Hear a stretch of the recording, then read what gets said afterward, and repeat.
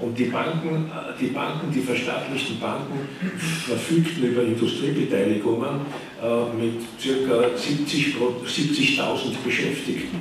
Äh, also Kreditanstalt und Länderbank, Steyr, Daimler Buch, Semperit, Andritz, Zweikam und so weiter. Das waren ja die Industriegiganten der damaligen Zeit und da waren so ungefähr 70.000 Menschen beschäftigt.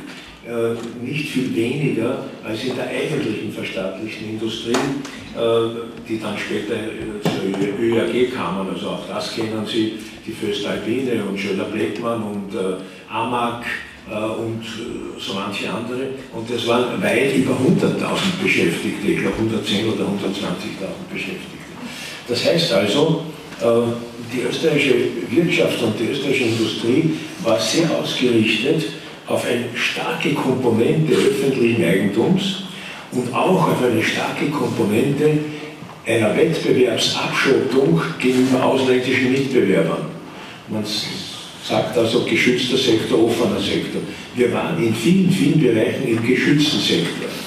Äh, und äh, in dieser Zeit äh, war es notwendig, aufgrund des internationalen Wettbewerbs und aufgrund einer vollkommen einfachen Überlegung, dass nämlich der österreichische Markt mit damals 7, 7,2 Millionen Einwohnern äh, ein zu kleiner Markt war, äh, um wirklich zu expandieren und die Beschäftigung zu sichern. Also die, die Hauptaufgabe war, schrittweise zu öffnen.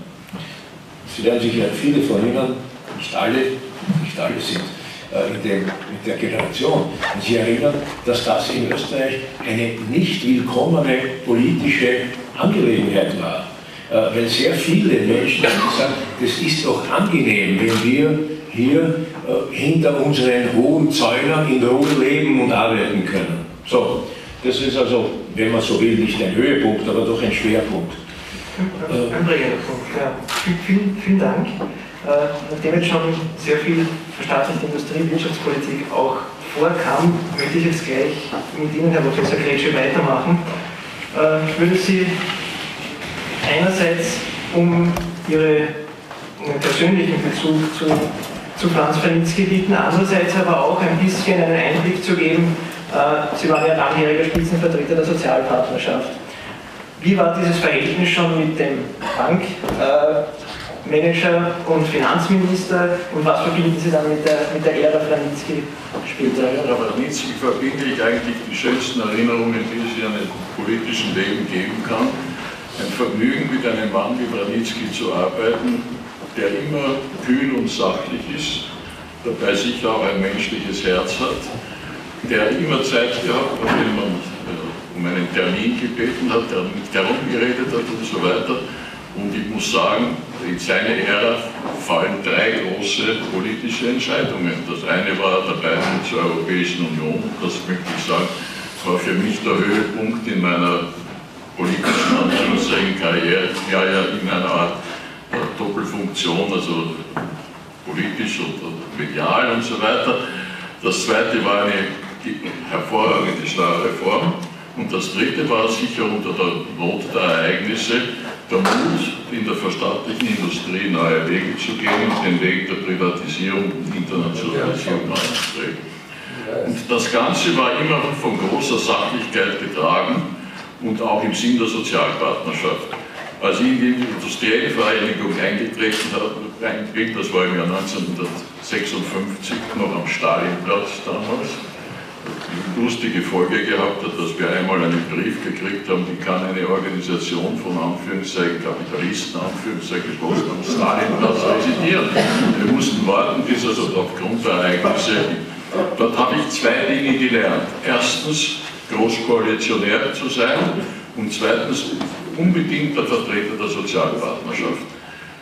Die Herren, die uns damals geleitet und ich möchte sagen auch, äh, auch unsere Lehrer waren, ich habe mich immer dazu bekannt, dass der legendäre Dr. Meyer-Gundhoff mit seinem ebenso legendären Generalsekretär Dr. Fetzer meine politischen Lehrer waren und die mir beigebracht haben, dass es keine Feindbilder zu geben hat, sondern dass man auch in, in der sozialistischen Partei den Partner zu sehen hat. Und das hat sich insofern auch ausgewirkt, als äh, sich andeutete, äh, dass mit Bruno Kreisky ein potenzieller Wahlsieger da ist. Die industriellen Vereinigung dank der Mitwirkung eines Wirtschaftsprüfers, damals Kommerzial Friedrich Franz Wedler, schon die Voraussetzungen geschaffen hat, dass in dem Augenblick, wo die Sozialdemokraten, also die Nummer eins waren, eine Gesprächsbasis da war. Und wir sind so erzogen worden, dass diese Gesprächsbasis das Fundament unserer Arbeit zu sein hat und dass in der Sozialpartnerschaft ein Prinzip herrschen muss, wie das Raab einmal formuliert hat, das kannst du ihnen nicht zumuten. Das heißt, man muss immer dafür sorgen, dass um im asiatischen Sprachgebrauch zu sein, der Partner das Gesicht nicht verliert. Er muss auch seinen Anteil am Erfolg haben. Und ich kann mich erinnern, dass einmal auf dem Höhepunkt der, der Kampagne mit den Jonas-Witzen, ja, ein aristokratischer Mitarbeiter unseres Hauses, dem Präsidenten Meyer Gundhoff, gesagt hat, Herr Präsident, kennst du den neuesten Jonas-Witz? Er hat ja nicht gebraucht. Der alte Mann, der Meyer Gundhoff, hat eine Stimme wie ein Löwe gehabt. Er hat gebrüllt, dass das Fundament gezittert hat. Ich will so etwas nicht hören, hinaus mit dir und so weiter. Ich gedulde nicht, dass der Bundespräsident beleidigt wird. So sind wir erzogen worden. Wir wurden nicht zum Hass auf die Roten erzogen, sondern zur Mitarbeit. Und für uns war es keine Überraschung dann. Wir haben im Jahr 1970 äh, tatenlos den Übergang geschafft. Und ich kann mich erinnern, ich habe mit Freude damals, ich habe die Leitartikel geschrieben und war ein Großstreiter. Das hat mir richtig Freude gemacht, darüber dafür einzutreten. Das Zweite war, ich meine, das große Ereignis, ich möchte sagen, in meinem Leben, war die, der Abend der Volksabstimmung zur Europäischen Union. Und ich bitte, Sie können jetzt lachen, als das Resultat durchgekommen ist, habe ich geheult, weil ich mir gedacht habe, jetzt lohnt sich der Einsatz durch Monate oder durch Jahre. Denn die Wahl haben wir nicht mit Plakaten und Fernsehen, sondern mit dem Kontakt im Volk gehabt. Meine Damen und Herren, ich bin durch Jahre zwei bis dreimal in der Woche herumgefahren. Ich kenne alle Volksbanken, ich kenne auch alle Nassräume auf den Autobahnstationen. Aber ich habe es mit Sinowatz gehalten. Ich habe immer gesagt, ich möchte im eigenen Bett schlafen gehen und aufwachen, auch wenn ich um halb zwei nach Hause gekommen bin. Das hat die skurrilsten Folgen gehabt, nicht wahr? Da sind die Trachtenkapellen aufmarschiert in irgendeinem Dorf, dann ist einer gekommen bei einer Volksbank sie müssen einen Hunger haben, wenn sie nach Hause kommen. Draußen im Wagen haben sie einen großen Leib Brot, ein Stabs Fleisch und ein, ein, ein Gesöchtes, das braucht der Mensch zu leben. Und dort ist über das gesprochen, was die Menschen bewegt. Und ich habe auch gesagt, es werden welche in Straßengraben liegen bleiben. Es ist kein Blumenmarsch. Nicht nur, dass man reingeht und so, alles löst sich. Aber man muss sorgen, dass die auch abgefedert werden. Und dieses äh, Bekenntnis zu Europa leitet mich auch heute und da lässt mich manche Blödheit der Europäischen Union äh, vergessen oder nicht mehr so ernst zu nehmen. Und ich glaube, äh, wenn ich das sagen darf, wenn ich in die Reihe blicke, diesen Direktkontakt mit den Menschen hat auch etwa die Frau Botschafter noch, die immer gehalten war. Immer jemand anruft, sagt, wir brauchen einen Redner. Auf der anderen Partei, da sagt man, da ist Eva Nowotny, die wird schon gehen. Und das ist es. Wir brauchen Leute, die auch für diese Idee eintreten und mit verständlichen Worten und nicht mit diesem schrecklichen äh, Kommissionsdeutsch. So, so wie halt die Menschen reden. Und die Frau Wabert ist die Frau Wabert und die Frau Wabert ist die Mehrzahl. Darauf muss man Rücksicht nehmen. Ich nehme an, darüber werden wir noch reden. So ist es, ja. ja. An der Stelle, damit es nicht in Vergessenheit gerät, Herr Professor, der Meier Kundhof, äh, also ich war schätzungsweise 35 Jahre alt und wurde in gewisser Hinsicht also als Mitarbeiter im Finanzministerium von Meyer Kundhof entdeckt. Immer wenn es eine wirtschaftspolitische Aussprache gab oder andere Fall, ist er auf mich zugekommen und hat mich mit irgendeinem Thema konfrontiert. Und einmal, und er war, war 35, er wird gewesen sein, vielleicht 65, 67, äh, und er hat mich mit einem Thema konfrontiert und habe meine Meinung gesagt und er hat gesagt, na, da bin ich ganz anderer Auffassung, aber wahrscheinlich muss man erst ein gewisses Alter erreicht haben, damit man das so versteht wie ich. Ich war natürlich beleidigt. Ich war beleidigt und habe gesagt, aber Herr Präsident, jetzt sagen Sie mal, wie muss ich das verstehen? Sagt er, ich habe Anton Bruckner auch erst mit 60 verstanden. Das Zweite, die, die, die Europaabstimmung und so weiter. Ähm, wir werden ja wahrscheinlich. Auf Europa werden wir noch kommen. Ja. Werden wir noch kommen. Ja. Gut, dann behalte ich mir das vor, weil das muss auch gesagt werden. Ja. Ein strenger, ein strenger Nein. Wir können auch schon darauf vorgreifen, ich würde Nein, gerne, würde gerne Sie. Frau Kammerschauspieler. So ist es einbinden. Das. Äh, ich würde jetzt noch ganz kurz nochmal äh, zur Person kommen. Wir haben jetzt schon äh, gehört, für etwas einzutreten, Haltung zu, zu zeigen. Ja? Äh, Sie haben einmal in einem Interview gesagt, äh, Sie sind ein politischer Mensch in einem übergeordneten Sinn, aber Sie wollen nicht, jeder, auf, nicht auf jeder Suppe der Schnittlauch sein. Ähm, daher würde ich sagen, es ist ein, ein Beitrag, den Sie über Franz Panitzky als Weggefährtin geschrieben haben, nicht etwas Selbstverständliches. Was hat Sie dazu bewogen, äh, sich mit der Person Panitzky, mit seinen, mit seinen Aussagen, mit seinen Taten zu befassen und welche Entdeckungen haben Sie dabei gemacht? Also in all diesen Fragen die die beiden Herren ebenso beherrschen, in Wirtschaftsfragen, das muss ich ganz offen zugeben, äh, bin ich einfach nicht wirklich kompetent, weil ich so vieles nicht kapiere. Nicht, dass ich mich nicht informieren möchte, aber das ist bei mir, da ist bei mir irgendetwas nicht, nicht so, dass ich es.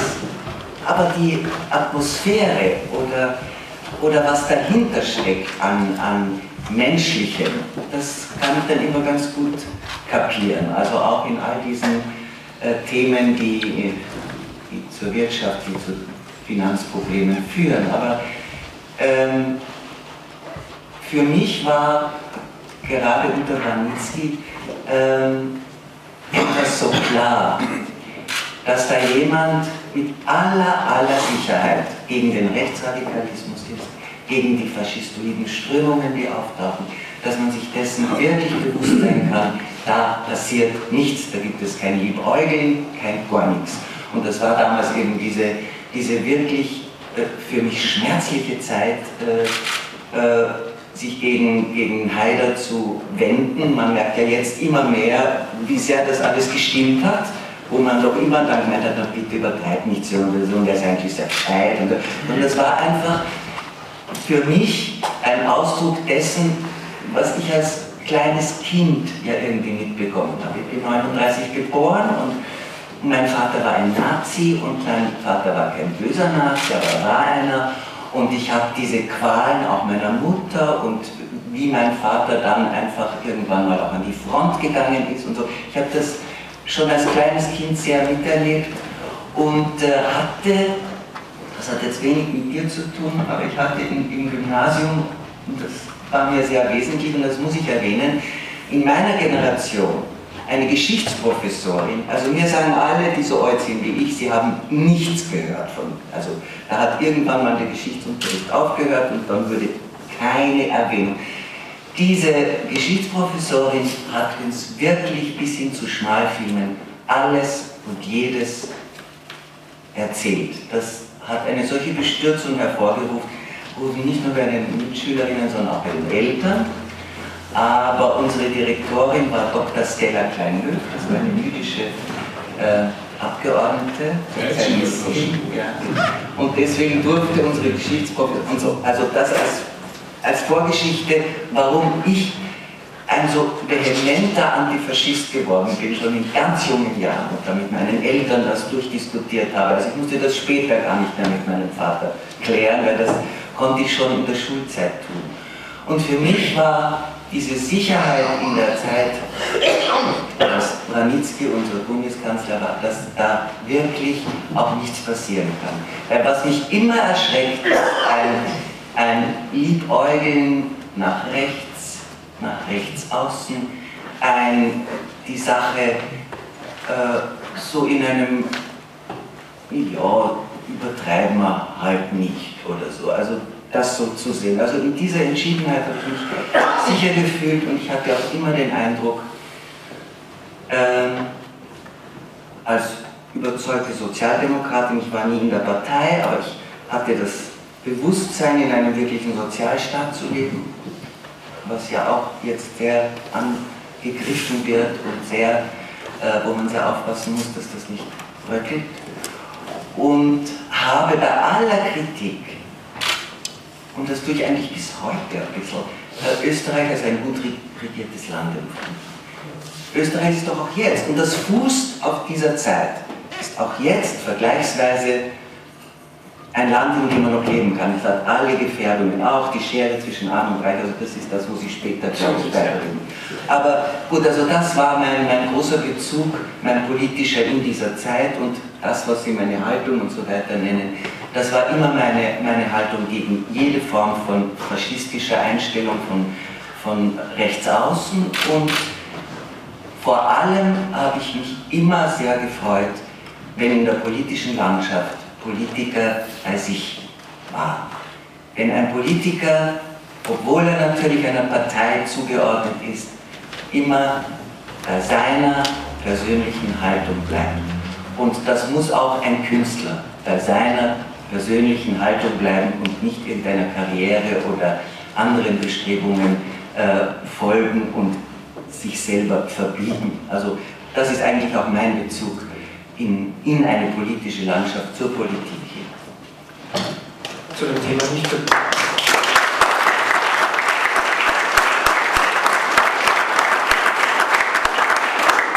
zu dem Thema nicht verbiegen, bevor wir dann auf die ganzen Themen kommen, die schon ein bisschen angerissen wurden. Ich möchte noch einen Eindruck, den Sie auch bei vielen hinterlassen haben, äh, kurz ansprechen, nämlich die Erklärung äh, vor dem Nationalrat zur Verantwortung Österreichs an den Verbrechen während der NS-Zeit. Äh, diese ganze Erklärung ist auch in äh, dem von ihm verfassten äh, Werk der politischen Erinnerungen auch im gesamten nachlesbar. Ich möchte jetzt nur auch im Sinne der Zeit einen ganz kurzen Absatz lesen, nämlich den bekanntesten Satz daraus. Äh, das ist im Prinzip die Konklusion daraus. Wir bekennen uns zu allen Taten unserer Geschichte und zu den Taten aller Teile unseres Volkes.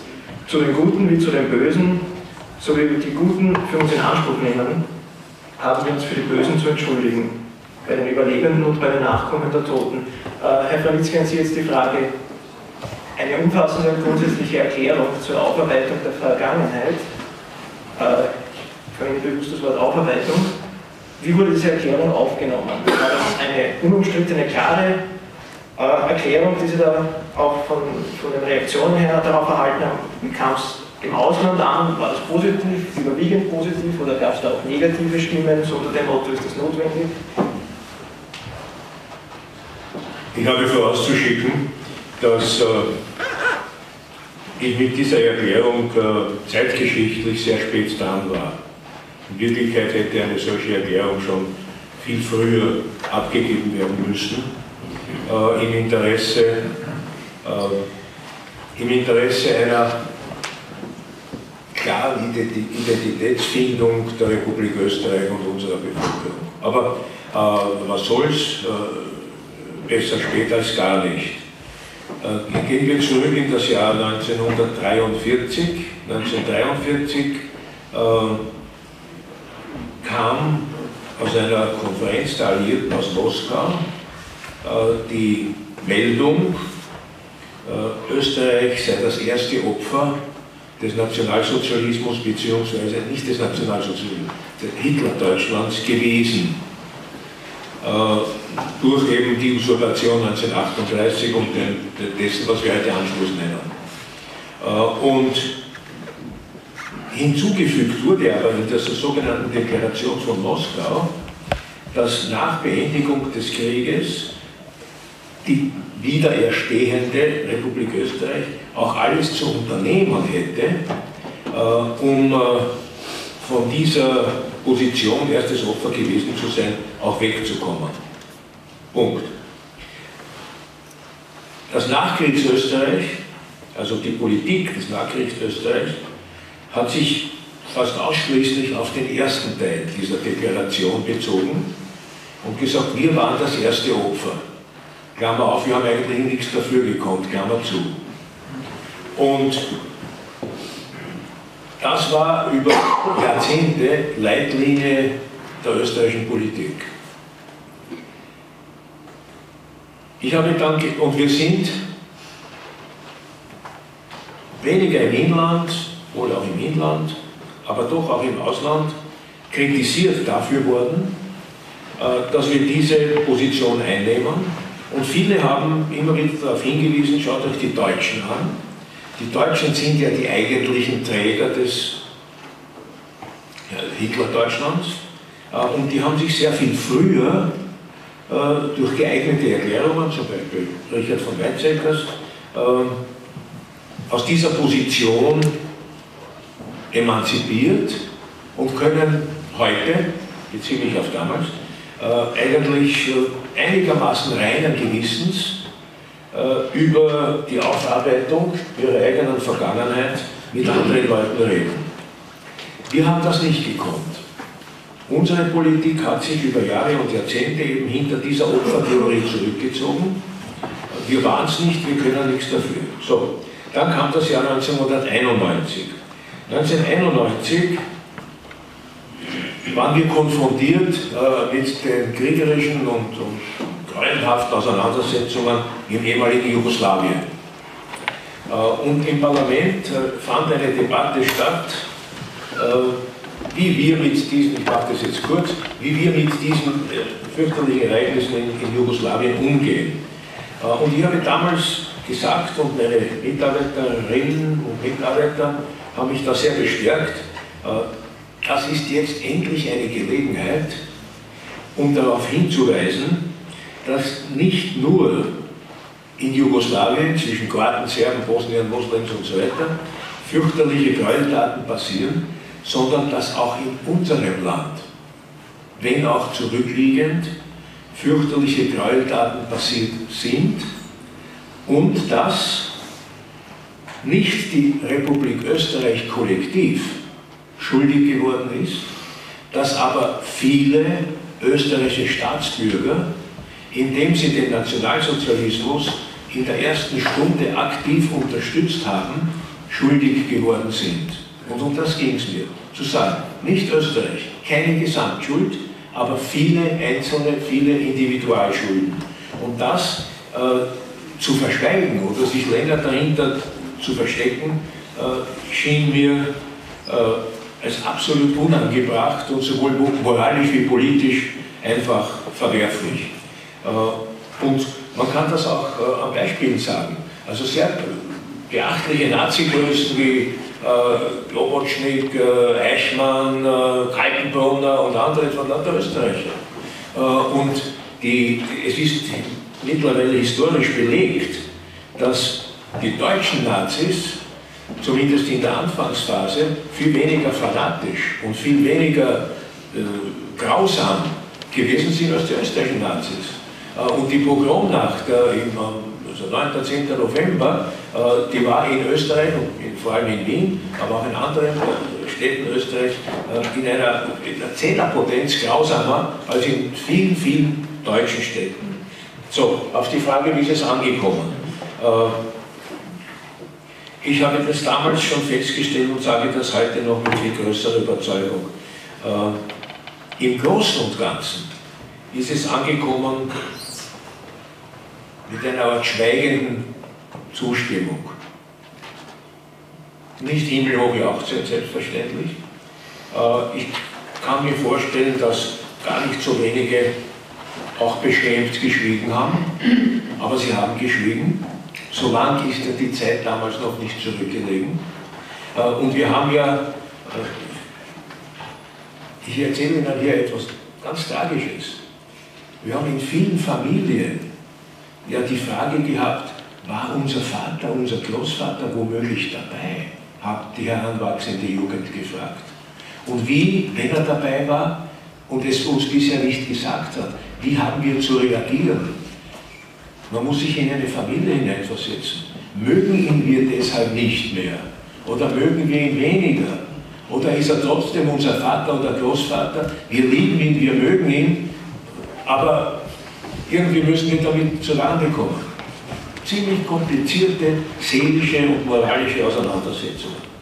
Es gab auch welche, zum Beispiel gab es in der Kronenzeitung einen, einen, Journalisten namens Nimmerrichter, der unter dem, äh, unter dem äh, welthistorisch wichtigen äh, Pseudonym Schlaberl äh, geschrieben hat. Der hat gesagt, das war überflüssige Fleißaufgabe. Als ich das gelesen habe, habe ich gewusst, ich habe recht gehabt. äh, Im Ausland ist es gut angekommen, Kostovodo. Äh, und es war vor allem die Grundlage für zwei ganz wichtige Dinge. meine Damen und Herren, ganz wichtige Dinge. Erstens, die Grundlage dafür, dass die Republik Österreich durch meine Erklärung und die anschließenden äh, Ereignisse das Verhältnis zum Staat Israel normalisiert hat. Dieses Verhältnis war nicht normal, war nicht normalisiert. Es war von Vorbehalten und von äh, unpassenden Erklärungen und fragwürdigen Zusammenkünften geprägt. Äh, ich bin dann, das war 1991, 1993 äh, nach Israel gereist und das war eigentlich ein, sozusagen eine Erfolgsfahrt für, uns, für die Republik Österreich. Und zweitens äh, war diese Erklärung der Startschuss für später, Regierungen nach mir haben das dann durchgeführt, für später durchgeführte Restitutionen äh, und, und Gesten der auch der materiellen Entschuldung und Entschuldigung, ich sage absichtlich und nicht Wiedergutmachung. Das, was den Juden in Österreich und in Deutschland in der Hitlerzeit angetan wurde, kann niemand gut machen, ist unmöglich. Äh, aber äh, es kann, man kann äh, zumindest, und das ist geschehen, im Großen und Ganzen in einer akzeptablen Art und Weise, auch in einem akzeptablen materiellen Umfang, dass hier Gesten gesetzt wurden, nicht alle Menschen konnten zufriedengestellt werden, das ist wahrscheinlich auch ausgeschlossen und unmöglich. Also es ist eine sehr lange Erfahrung, aber äh, es ist mir bis heute wichtig äh, und wird auch immer wichtig bleiben. Äh, später aber doch. Darf ich da kurz ja. noch was hinzufügen? Aber was, was mir immer auch so wesentlich war und ist, dass neben dieser Vergangenheitsbewältigung es auch leider immer eine Gegenwartsbewältigung geben muss. Und die wird dann oft hintangestellt. Und an, in dieser Zeit, als, als du also die Regierung Österreichs quasi dargestellt hast, habe ich auch immer das Empfinden gehabt, dass auch das Gegenwärtige in irgendeiner Form immer beachtet wird. Weil ich, ich glaube einfach, das ist so wesentlich, dass man jetzt aufpasst. Jetzt, weil wir haben immer eine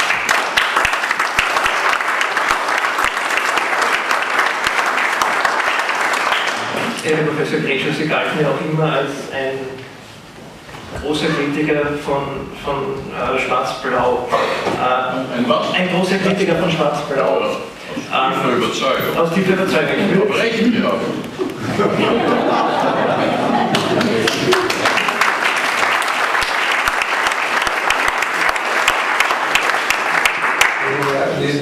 Ich möchte jetzt das, das Thema Schwarz-Blau gar nicht, gar nicht äh, näher angehen, sondern würde nur unter diesem Stichwort der nationalistischen Tendenzen, die sich damit natürlich ergeben, auf ein anderes wichtiges Themenfeld kommen und damit die Brücke in die Gegenwart und auch in die Zukunft schlagen, nämlich eine aktive Europapolitik. Ich gehe mal davon aus, dass Sie beide die Frage, gibt es eine aktive Europapolitik, wahrscheinlich nicht mit einem überzeugten Ja beantworten werden. Dennoch äh, würde ich Sie gerne fragen, was muss passieren, um äh, dieses Zukunftsthema Europa einerseits ins Bewusstsein der Bevölkerung unter dem Stichwort Europa geht uns alle an, äh, zu stellen, andererseits aber auch äh, in der Politik ein, wie soll ich sagen, ein, ein, eine Stärkung des Politischen vielleicht auch auf europäischer Ebene zu realisieren. Ja, ich glaube, das Ganze ist auch eine Frage des Denkens und der Gesinnung. Wir denken ja nicht europäisch und vermisse ja auch in, in wesentlichen Stellungnahmen auch der kleineren Regierungspartei, dass das Wort Europa nicht vorkommt. Und ich frage mich immer, was muss eigentlich noch geschehen, damit das dann. Wir haben, glaube ich, noch nicht begriffen, dass Europa eine übernationale Aufgabe ist und dass wir in anderen Dimensionen denken müssen. Und äh, das ist auch eine Frage der Bildung und der Schulung und es wird auf diesem Gebiet viel zu wenig getan. Und das geht nicht mit, mit, äh, mit Broschüren und ähnlich. Da muss man sich rausgehen und muss sich stellen. Man muss mit den Leuten reden und so weiter. Und ich stelle fest, beschränkt mitten in der Gesellschaft, der die Ehre dort ein kleines Zimmer zu haben mit dem Dr. Kinsel, äh, der eben so ein fanatischer Europäer ist wie ich, nicht wahr? Dass wir eigentlich trotz aller Enttäuschungen, die wir von Brüssel erleben und trotz aller Blödheiten, die dort geschehen, die manchmal haarsträubend sind, nicht wahr, an dieser grandiosen Idee, die von den Bürokraten manchmal zu Schanden geritten wird, festhalten. Und das erfordert einen festen Standpunkt, das erfordert ein historisches Bewusstsein und äh, Klarheit des Denkens, nicht wahr, dass es ohne dieses große Europa nicht geht. Nur hat sich das offensichtlich nicht bis in alle Regierungsränge durchgesprochen, nicht wahr? Und äh, da äh, muss noch viel mehr geschehen. Diese Angst, das Wort Europa zu verwenden, auch in Parteien, die eigentlich eine europäische Vergangenheit haben, äh, die ist es, die mich etwas besorgt stimmt. Aber hier muss man einfach den längeren Atem halten, durchhalten und immer wieder informieren, informieren, die, Schattenseiten aufzeigen, aber die, die, das große, ich möchte sagen, die große europäische Idee nicht nur vom ökonomischen Standpunkt zu sehen. Also wenn man Europa nur, ich meine, dass das Ganze nur eine Frage äh, von Erlässen ist, nicht wahr, äh, die sich mit Details, also von Lebensmitteln und Ähnlichem beschäftigen, weil die Beamten dort offensichtlich nicht ausgelastet sind. Das, das muss äh, gestärkt werden, dieses Bewusstsein, und das muss vor allem hineinfließen in die Regierung, in das Denken auch der Regierenden und nicht aus Angst, dass irgendein Medium da ein Kontra gibt, nicht wahr, um dieser Idee abzufassen. Und deswegen äh, ist es wichtig, dass wir in den Schulen beginnen damit. Und ich stelle fest, dass in der jungen Generation eher eine positive Stimmung herrscht. Da ist etwas, was fasziniert, das ist eine internationale Dimension, man kann reisen und so weiter. Also das, die Basis wäre schon vorhanden, aber dann kommt halt das Heute und dann kommt die Kronenzeitung und so weiter. Und da beginnt dann die Angst, Wähler zu verlieren. Und das finde ich also äußerst gefährlich.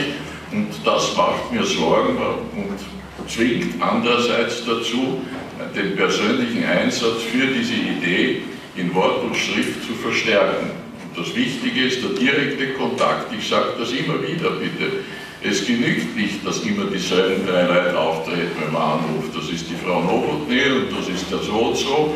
Und manchmal wird man auch in meinem Alter noch gefragt, was man dazu zu sagen hat, aber das ist zu wenig. Wir brauchen einen Kader von, weiß ich, 500, 600 Leuten, die imstand sind, Diskussionen zu führen und die bereit sind, auch die Mühe auf sich zu nehmen, nach Dickelsbauschen zu fahren, sich dort der, Öffentlichkeit zu stellen. Und die Entscheidung fällt dort, bitte, an diesen am, am Ort. Und das ist das, was wir leider Gottes in den letzten Jahren vernachlässigt haben, auch von Parteien, die von ihrer Geschichte her anders strukturiert waren in der europäischen Idee. Da ist viel zu viel Angst dabei, man könnte sich mit einem Chefredakteur, einem Medium verderben. Und daher ist besser, man redet über Europa nicht, sondern geht darüber hinweg. Und das ist eine tödliche Gefahr, die überwunden werden muss. Ich meine, ich habe kein Patentrezept, weil es gibt halt zu wenig Leute, die sich dafür so einsetzen, wie es notwendig wäre. Und das müssten natürlich auch die Regierenden tun. Meiner Ansicht nach muss in jede große öffentliche Erklärung die europäische Dimension einfließen. Und das geschieht leider Gottes nicht. Aber bitte, das ist eine Frage, die sich die Politiker selber stellen müssen. Okay, vielen Dank. Äh, ich würde jetzt an Sie, Herr äh, Dr. Franitzky, die Frage richten einerseits schon nach der aktiven EU-Politik, ich würde es jetzt aber auch bitten, als früherer Politiker vielleicht ein, ein Rezept anzubieten, ähm, wie man der, der, Bevölkerung vermitteln kann, wie ein Mensch verstehen kann, der, sage jetzt einmal, nur die plakativen Beispiele mit den Bürokraten kennt, äh, dass ein Engagement oder ein Interesse für Europa auch in seinem eigenen Interesse ist. Eine gute Geschichte mit den Rezepten, das was für Apotheker. Äh, das geht nicht so einfach äh, eins zu eins darzustellen. Äh, aber ich möchte auch in Anlehnung an das, was der Herr Professor Glecke sagte, zwei Anmerkungen machen. Erstens, ähm, es gibt in der Politik so ein einigermaßen verbrämtes Wort, das heißt, wenn du in der Politik bist, haben die Amerikaner, glaube ich, geprägt, you have to tell a story. Du musst irgendwas anbieten, irgendwas erzählen. Äh, und wir haben äh, nach, mit dem Beitritt, vor dem Beitritt, nach dem Beitritt, war unsere Story, und um mich jetzt nicht auf die Wirtschaft äh, allein zu konzentrieren, das Friedensprojekt. Also, das 20. Jahrhundert von zwei fürchterlichen Weltkriegen geprägt, von einem dritten Weltkrieg bedroht?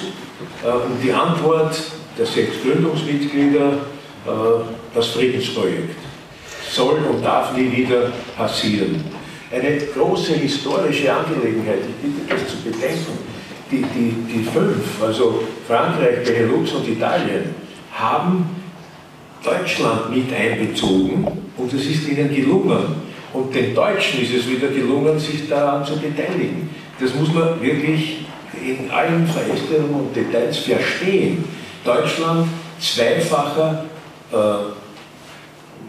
Begründer zweier Weltkriege und war trotzdem, großes Verdienst Adenauer und Co., trotzdem bereit, sich unter, unter diesen Schild zu begeben, in der Montanunion, also die Geburtsstunde der europäischen Integration, was ja im Großen und Ganzen bedeutet hat, eine gemeinsame Beschränkung der deutschen Rüstungsindustrie, um nicht wieder aufzurüsten und für einen dritten Krieg gerüstet oder gewappnet zu sein. Eine unfassbare Vorstellung.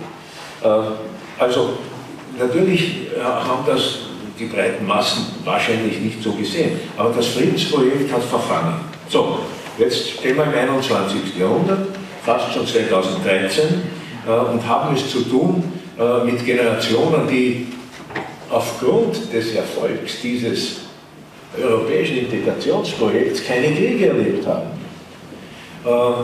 Und für die ist jetzt das Friedensprojekt viel weniger attraktiv und präsent äh, in, ihren Köpfen. You have to tell a story. Eine neue, die nächste. Die Welt hat sich rasant, kolossal verändert. Wir sind heute konfrontiert und zwar mehr oder weniger unbemerkt, äh, wenn, man, wenn man also nur sozusagen im, im, im österreichischen Mikrokosmos lebt, mehr oder weniger unbemerkt haben sich China, Indien, äh, Russland, äh, USA, Kanada, Brasilien, Indonesien, Mexiko mit einer unfassbaren Bevölkerungsmehrheit äh, auf den Weg gemacht, die Welt zu beherrschen, zu regieren, zu beeinflussen etc. Jeder auf seine Art. Österreich. Wenn man einen üblichen Schulglobus hernimmt, kann man das Wort Österreich nicht damit draufschreiben, weil die dort vorgesehene Fläche zu klein ist, um das Wort Österreich hinauf draufzuschreiben. So. Wechsel. Mehr als 500 Millionen Einwohner in der EU. Mehr als in Russland, mehr als in den USA, mehr als in Brasilien, mehr als in Mexiko. Nicht so viel wie in China und Indien. Muss auch nicht sein. Äh, aber was ist mit diesen 500? Sollen diese 500 jetzt, tell your story, verkümmern, dass halt die Chinesen und die Japaner noch schön rund herkommen und tausende Fotos schießen, äh, dass sie ihre Jungen in die Wiener Musikakademie schicken, um Geig spielen zu lernen? Äh, sollen wir äh, immer nur die Abbauser sein von irgendwelchen Hightech-Entwicklungen aus Japan, aus USA oder sonst wo? Oder aber ist unsere Story, lasst uns doch das menschliche, das geistige, das charakterliche, kulturelle Potenzial der 500 Millionen und mehr Menschen nutzen, um in einem friedlichen, aber letztendlich auch erfolgreichen Wettbewerb mit den anderen, die ich vorher erwähnt habe, zu bestehen. Das ist in Wirklichkeit die Aufgabe. Jetzt kann man sagen, das interessiert mich eigentlich nicht. Das ist ganz egal, ob die daher Geigen spielen kommen oder zu den Salzburger Feldspielen, also egal. Äh, äh, und ist aber nicht. Und jetzt komme ich, bin ich beim Herrn Professor. Entscheidungsträger kommt hervor, europäische, zeigt uns den Weg, zeigt uns, wie wichtig und wie notwendig es ist, diese diese Story für uns selber zu erzählen. Und wir wissen, dass das viel komplizierter ist als die Vereinigten Staaten von Amerika. Äh, wir wollen nicht eingerührt werden in, in einem Brei. Äh, ich will kein Belgier werden, ein Belgier wird kein Sizilianer werden wollen und ein Grieche wird kein Lette werden wollen und so weiter. Ist auch nicht notwendig, nur wissen muss man und, und mit, dem Thema, mit dem Thema fertig werden. Und wenn ich sage Entscheidungsträger, ist natürlich ein sehr friedlicher und, und schöner Abend, und, und es geht jetzt nicht um, um überkritische Anmerkungen. aber es wird nicht gehen ohne klare Bilder, die man den Staatsbürgern äh, vorstellt. Und mit diesen klaren Bildern, mit denen man Allianzen bilden muss in, in Europa, sodass unsere Bilder, die wir vorstellen, nicht in schwierigen Kontrast zu den Bildern anderer sein. Und für die anderen gilt aber das auch wieder. Äh, und da müsste ein Rubikon überschritten oder eine, eine Hürde übersprungen werden. Äh, und diese Hürde müsste heißen, vergessen wir dass, dass äh, Europapolitik Außenpolitik ist. Das ist Innenpolitik. Innenpolitik in genuinster Form. Und Innenpolitik in dem Sinn, dass wir unsere Bevölkerungen dafür gewinnen müssen. Und jetzt natürlich sagt der Professor mit Recht, das findet leider nicht statt. Oder noch nicht statt. Man kann es ja nur hoffen, dass es einmal stattfinden wird. Äh, aber zurzeit sind wir doch alle miteinander Zeugen dass die politischen Entscheidungsträger der einzelnen Mitgliedsländer gefesselt sind von ihren innenpolitischen Zwängen und innenpolitischen Ängsten und innenpolitischen Vorbehalten.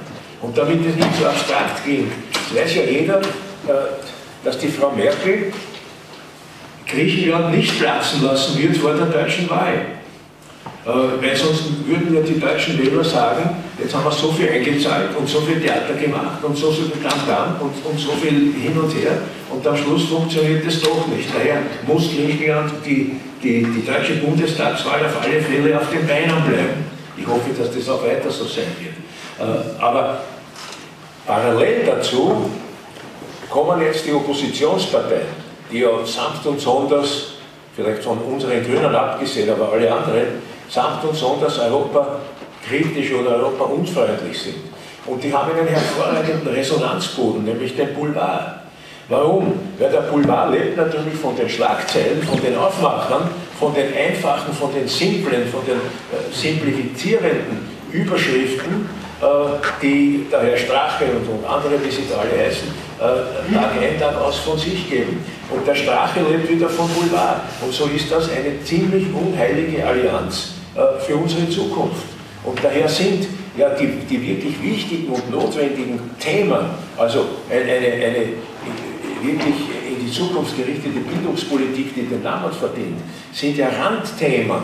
Die, die Hauptthemen sind ja die Ice Lady und die Hauptthemen sind die, äh, sind die ist, ist eine, eine aus meiner Sicht ziemlich abstrus verlaufende Debatte über, äh, über äh, Berufssoldaten oder nicht.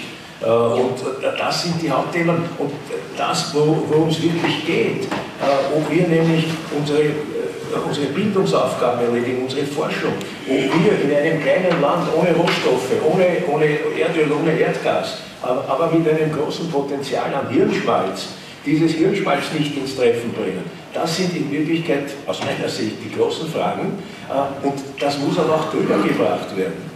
Und wenn ich in der U-Bahn fahre äh, und lese und sehe, lesen wir es nicht, aber sehen, wie die Menschen dieses Heute in sich aufsaugen. Und wenn mir dann ganz heimlich, sodass niemand sieht, auch sein Heute nehme und schaue, was da eigentlich drinnen steht. Äh, und wenn ich sage, und der geht jetzt, dieser arme Mensch, acht Stunden lang arbeiten, mit dem, was er da aufgesaugt hat in seinem Kopf, und dann am Abend geht er heim und am nächsten Tag hat er wieder diesen Schmarrn, dann muss einem ja Angst und Band werden. Aber das kann man nur überbrücken, äh, indem die Leaders vorangehen äh, und eben Alternativen auch dazu bieten. Äh, und daher glaube ich, ich bin gar nicht pessimistisch, das kommt schon. Und, ich, ich, glaube auch und baue auch auf die nachfolgenden Generationen. nur die nachfolgenden Generationen müssen rechtzeitig mit dem positiv konfrontiert werden, worum es geht. Weil sonst sind sie nach einer gewissen Zeit keine nachfolgenden, sondern schon etablierte Generationen und dann sind wir spät dran.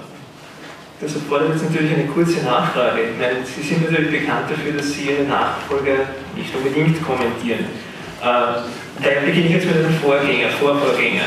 Bruno Kreisky hat gemeint, die Werbung für eine politische Idee oder überhaupt für eine Idee steht für ihn immer höher als die Werbung für eine, für eine Partei. Sie haben jetzt gerade von den innerpolitischen Zwängen gesprochen, denen natürlich die aktuellen Amtsinhaber äh, unterliegen. Sie sind ja im Prinzip frei von diesen Zwängen. Sie haben vorhin gesagt, es gibt jetzt kein Patentrezept, aber wie würden Sie versuchen, so ein, so, ein, so ein, klares Bild zu zeichnen? Was würden Sie raten? Wie kann diese Hürde überwunden werden? Also raten würde ich gar nichts, aber ich würde sagen, äh, die Werbung für eine Idee ist wichtiger als die Werbung für eine Partei und wenn das so ist, dann ist es gut, wenn die Partei diese Idee hat.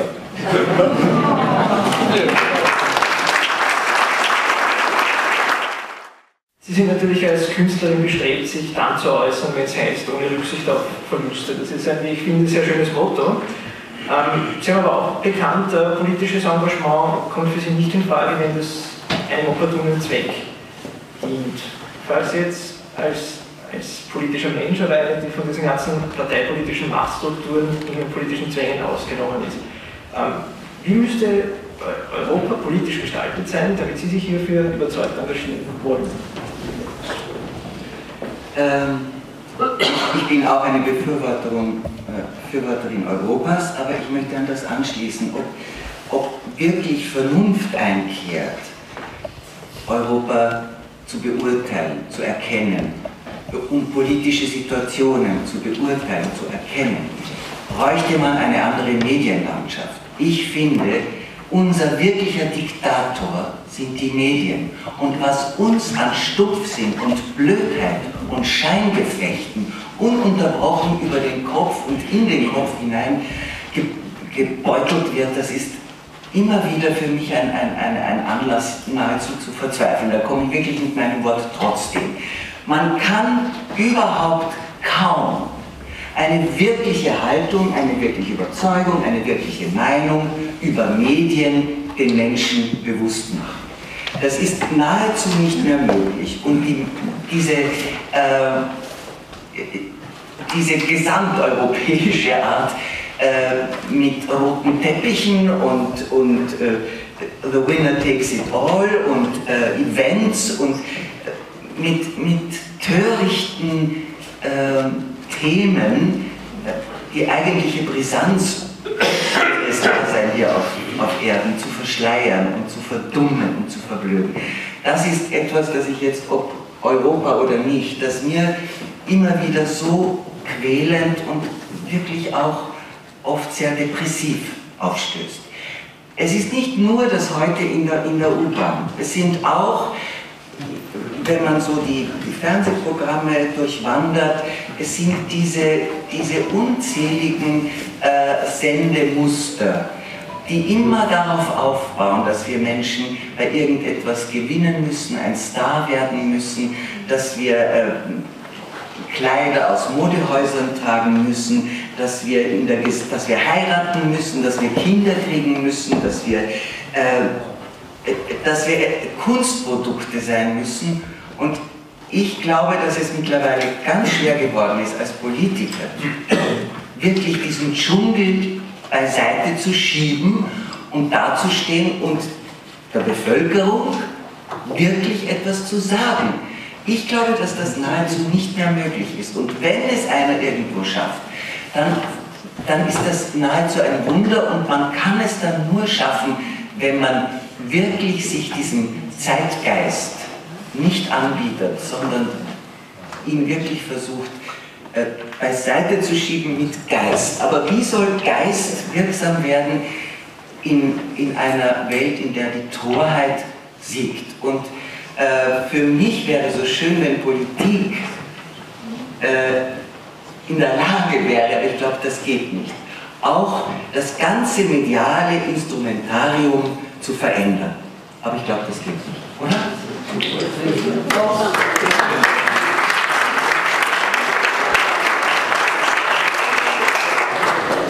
Politik in der Lage wäre, das ganze Instrumentarium zu verändern. Das ist ja Instrumentarium. Das medial.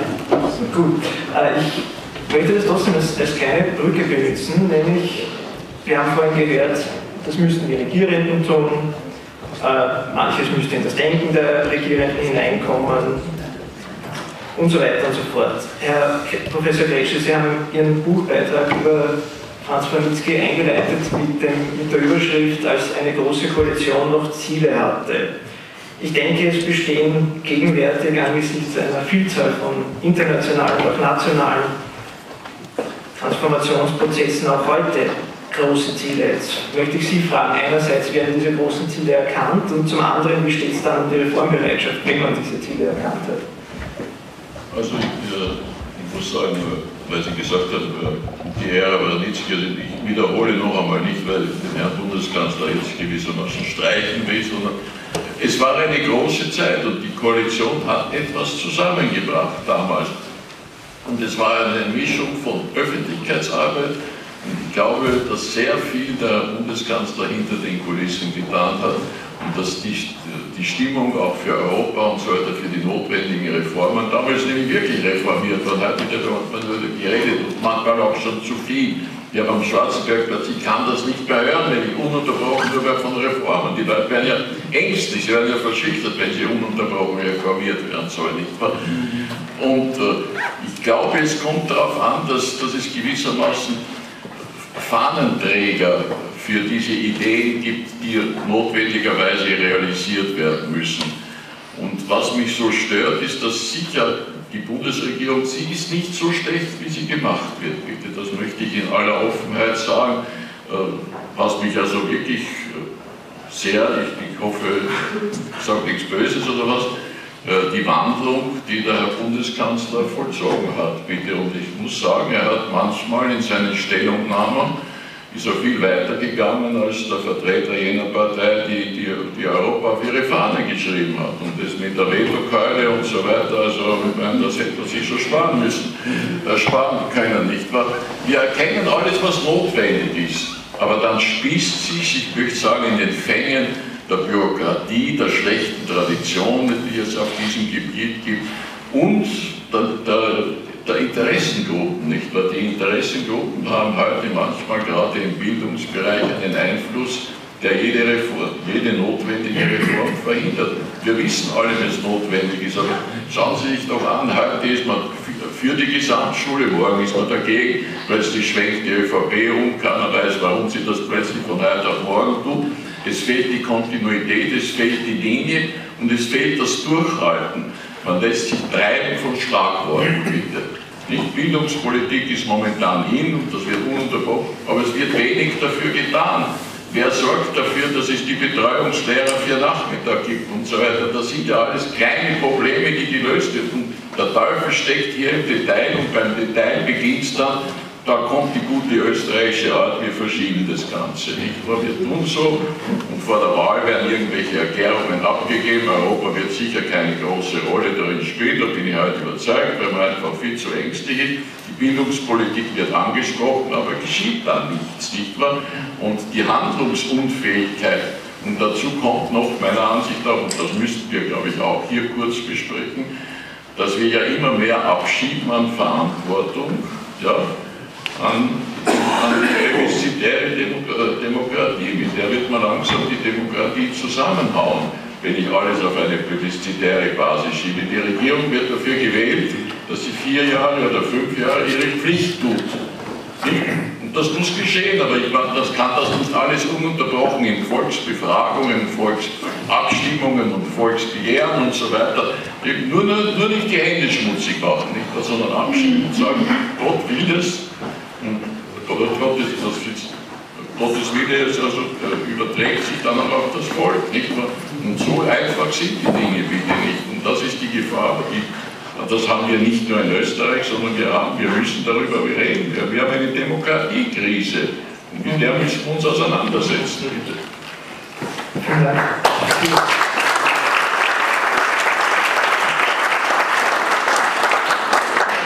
Vielen Dank für das Stichwort Demokratiekrise. Ich möchte jetzt noch auf zwei Aspekte eingehen, bevor wir dann auch zu den Publikumsfragen kommen. Ähm, Sie haben es jetzt schon angesprochen mit, mit dem Abschieben der Verantwortung. Äh, es gibt jetzt eine Vielzahl von Volksbegehren, es gibt neue Parteien, äh, von ja, sagen wir jüngeren oder älteren Personen geleitet und es gibt scheinbar, obwohl die Regierung nicht so schlecht ist, doch eine Schwäche der großen Koalition bei Wahlen. An Sie die Frage jetzt, Herr Dr. Franitzky, ist das ein tiefgreifender demokratischer Wandel oder ist das einfach nur eine Folge dessen, dass die Politik zu viele Themenfelder einfach umgesetzt lässt oder sie nicht, sie nicht ernsthaft äh, bearbeitet? Naja, die Politik lässt sie nicht umgesetzt.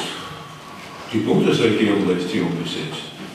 Und das ist einer der Hauptgründe, warum es immer wieder Vorstöße gibt, plebiszitäre Entscheidungen durchzuführen und herbeizuführen. Also gäbe es eine kalkulierbare Bildungspolitik, dann könnte ein Bildungsvolksbegehren unterbleiben. Oder wenn es trotzdem in Angriff genommen wird, wird es keinen besonderen Zuspruch finden.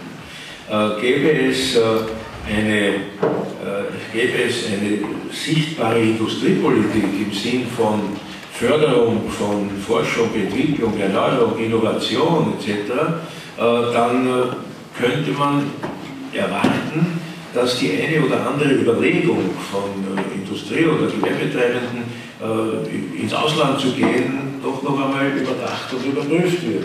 Und jetzt zum Schluss gäbe, gäbe es nicht so viel Unbehagen äh, über politische Entscheidungen, äh, dann gäbe es äh, möglicherweise keine, äh, also unser Österreich oder wie immer diese, diese Bewegungen heißen.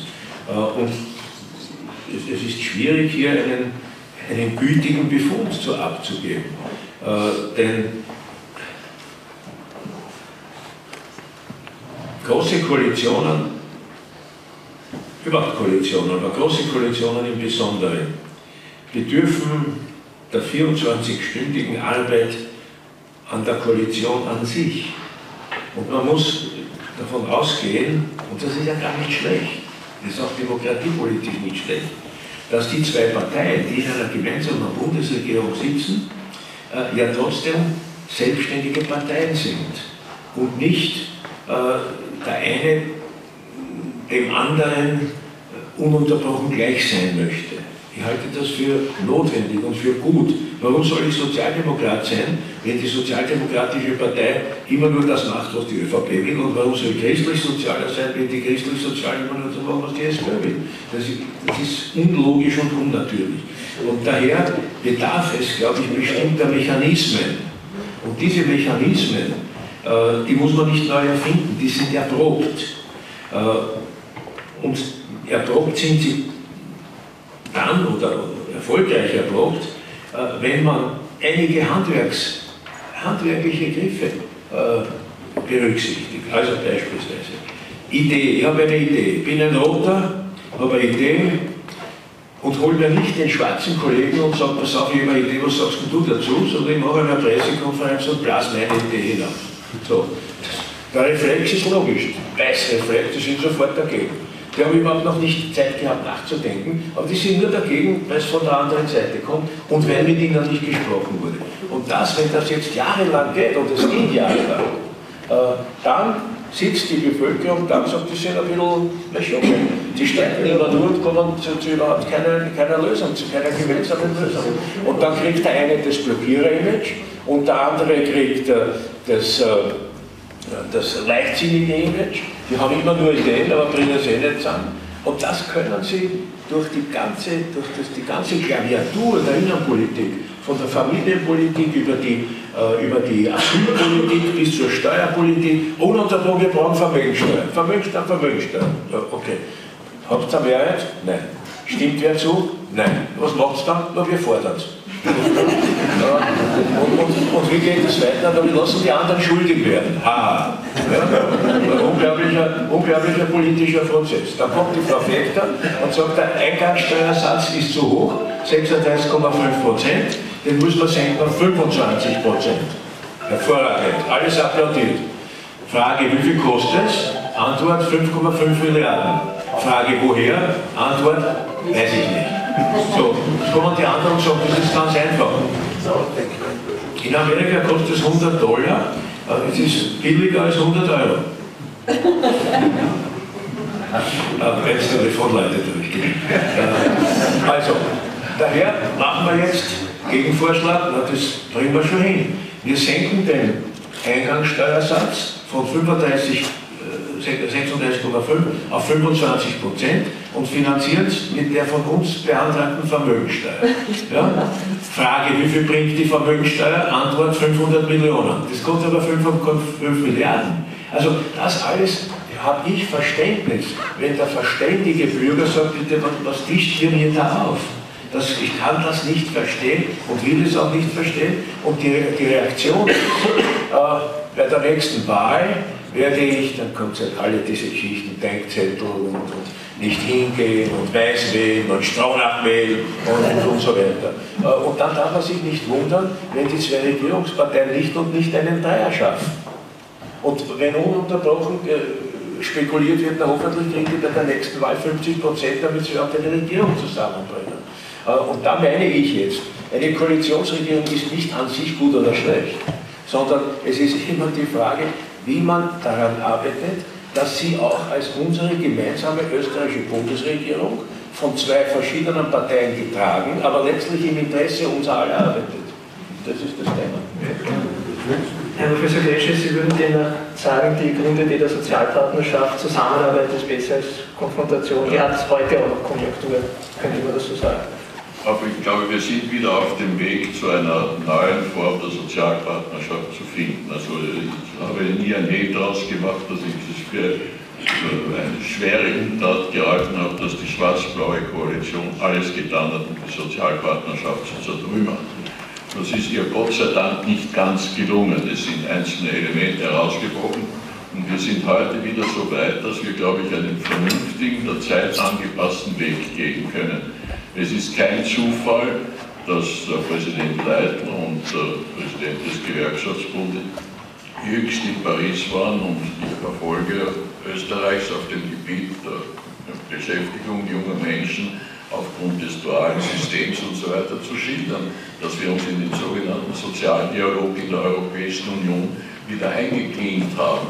Und äh, es hilft nichts, wir brauchen wieder die Sozialpartner, natürlich nicht in jener Form, dass sie glauben, sie können sich anmaßen, über alles und jedes zu bestimmen, aber als eine Gesprächsplattform, die nicht immer nur nach außen getragen wird. Ich meine, ich komme aus dem Journalismus, aber schön langsam graust man vor diesem Beruf, kann ich nur sagen. Nicht wahr? Äh, es, es, wird, es wird dauernd irgendwo, wo, wovon lebt der Journalismus heute? Ich habe das selber erlebt, nicht wahr? Wenn man nicht weiß, was man morgen aufmacht, ruft man irgendeinen Politiker an, er hat auf jeden Fall was zu sagen. Man hat früher immer gesagt, wenn der Kurier am, am Sonntag einen Aufmacher hat, der Helmut Ziel ist auf jeden Fall ganz gut. Irgendwas kommt immer heraus. Aber das kann es ja nicht sein, bitte. Äh, es wird viel zu viel. Manchmal sollte man sich wirklich an das halten, dass es gibt, glaube ich, in Afrika einen Stamm, einen Negerstamm. Da darf einer nur so lange reden, wie er auf einem Bein stehen kann. Das. Es wird zu viel geredet.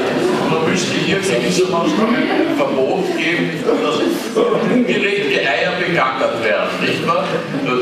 Der Herr Bundeskanzler mit Recht gesagt hat, nicht wahr, in der Bildungspolitik, nicht wahr? Er sagt das und er sagt, na Moment, da kann ich mich profilieren, ich sage das Gegenteil, nicht wahr? Und ich stelle eins fest, immer, dass diese Uneinigkeit und die Nicht-Konfliktbewältigung wir machen in der Gesellschaft für Europapolitik relativ viel Meinungsbefragungen, da kann man auch distant sein, aber es gibt eine Substanz, dass die Menschen ab, der, an der Demokratie zu zweifeln beginnen, weil sie sagen, sie haben keine Problemlösungskapazität. Und das ist nicht nur national, sondern der EU wird auch vorgeworfen, dass sie in dieser Zeit also den Eindruck eines hilflosen Wesens macht. Und man muss sich ja vorstellen, ja, früher sind Billionen erwähnt worden, also mit, mit einem Schauer. Heute wird über Trillionen gesprochen, als ob das ja ein Vorschein wäre und so weiter. Das kann ja nicht in das Gehirn der Frau Wader hineinkommen. Nicht ich meine es auch nicht. Ich finde es ich meine es auch nicht. Für mich ist das, ist das eine Chimäre. Ich glaube, die Null Summen, die sind, die kann es nicht geben. Aber die Sozialpartnerschaft, Herr Kollege, an die glaube ich weiter und sie ist auf gutem Weg, aber mir ist jetzt zwischendurch etwas eingefallen. Wir sollten uns in einem Jahr wieder treffen, sofort mit der Bundeskanzler, die Frau Blua werden sicher da sein, bei mir ist es eine Frage nicht, ob ich noch schaffe, nicht Aber da wird es sehr interessant sein, dass da kommen alle diese Themen. Wie schaut die nächste Bundesregierung aus? Wir bringen sie her. Ja. Gut, ich, äh, Sie haben jetzt, Sie haben jetzt eine ganz gute ein ganz gutes Stichwort gegeben für meine letzte Frage, die ich an, an Franz Ferenczky richten möchte. Und zwar nämlich mit dem Stichwort äh, an der Demokratie zu zweifeln beginnen. Äh, Sie benennen ja Demokratie und auch Solidarität als die beiden Grundfesten einer Gesellschaft. Ähm, ich denke anhand dieser, anhand dieser ganzen äh, ja, Veränderungen, anhand dieses ganzen Wandels, mit dem wir konfrontiert sind, wie gibt es da einerseits die zu bewahren und andererseits Politik ist ja Bewegung, wie kann man die auch immer wieder aktualisieren? Ich würde sagen, das Zeitwort äh, soll nicht lauten kann man, sondern muss man aktualisieren.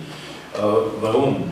Äh, weil die Gesellschaften, insbesondere in einer Zeit, in der es keine nationalen Grenzen mehr gibt und in der es keine Denkverbote gibt und in der wir über die digitale Revolution Zugriff und Zugang zu sämtlichen Entwicklungen auf der Welt haben, sind wir täglich neu gefordert. Und ich meine, überall dort, wo Demokratie in Frage gestellt wird, auf dem Spiel steht, bedarf es klare Haltungen, klare Haltungen der Entscheidungsträger. Und ohne weiteres auch grenzüberschreitend. Also ich habe das schon bei einer anderen Gelegenheit gesagt, ich finde es schändlich, dass Europa, die Europäische Union und die dortigen Entscheidungsträger nicht den Mund aufbringen zu den fantastischen Demokratieverletzungen im Mitgliedsland Ungarn. Kaum jemand sagt etwas dazu. Ja, kaum jemand sagt etwas dazu.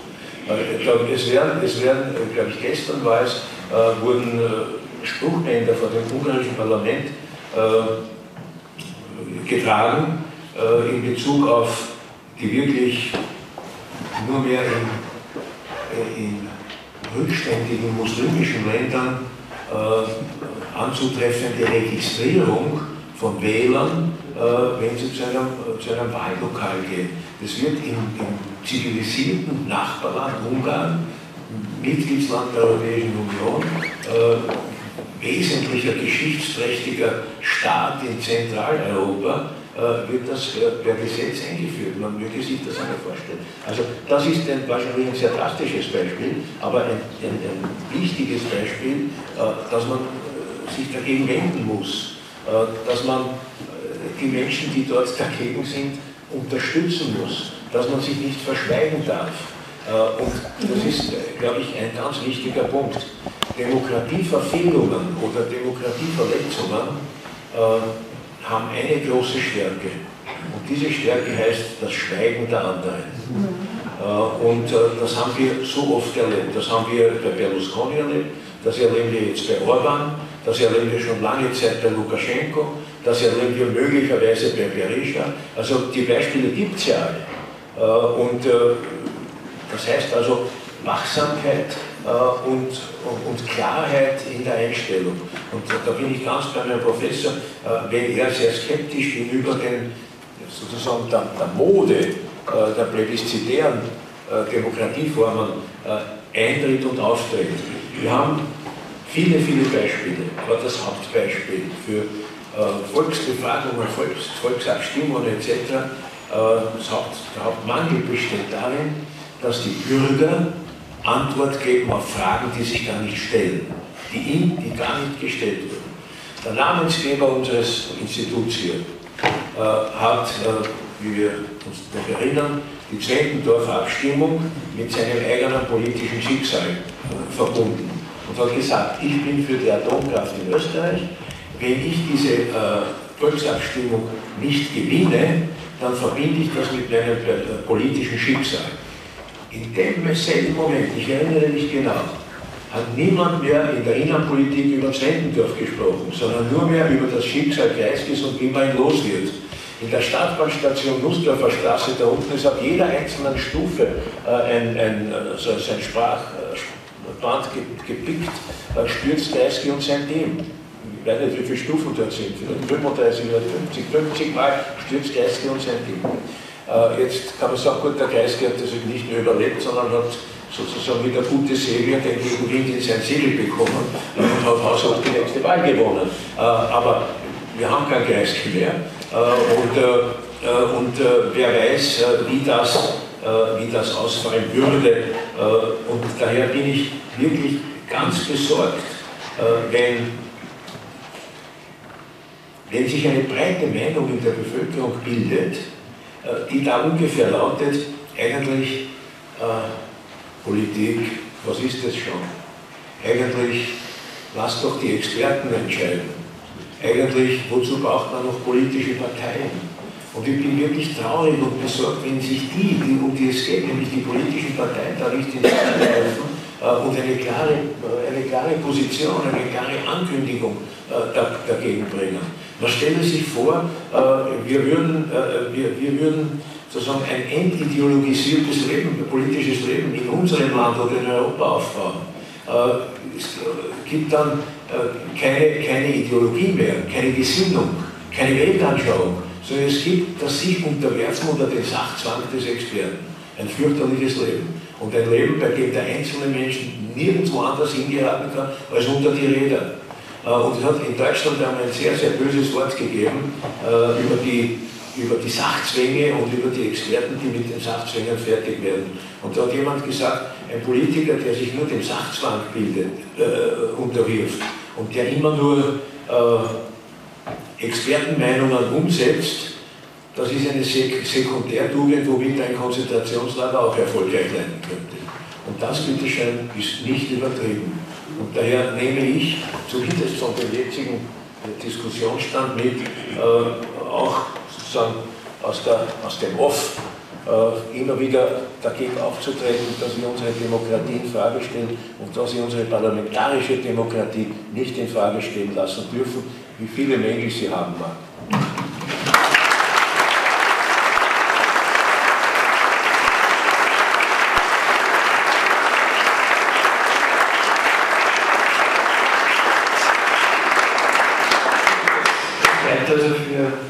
politische Parteien, für Politikerinnen und Politiker mit einer klaren Gesinnung und Weltanschauung äh, noch genug zu tun. Wir sind jetzt schon mit etwas mehr als einer Stunde ziemlich fortgeschritten in der Zeit.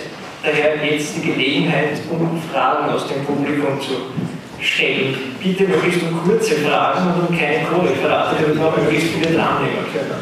Wo gibt es welche? Bitte. Herr Bundeskanzler. Sekunde, Sie brauchen. Antwort. Ja.